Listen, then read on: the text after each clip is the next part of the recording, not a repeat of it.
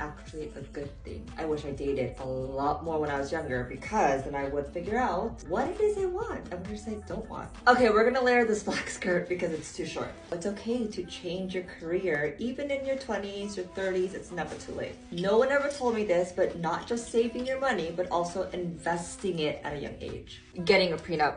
No more to say than that. Get a prenup. You guys, I got these shoes.